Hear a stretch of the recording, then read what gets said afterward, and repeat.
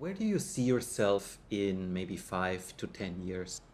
Uh, we're really, really willing to push it, really to make it uh, a bigger success in the future. So we always, uh, you know, uh, you see the joke or is our dream is uh, really to create a company more like Intel, but uh, focusing on edge computing because uh, the other existing companies all focusing on cloud, right?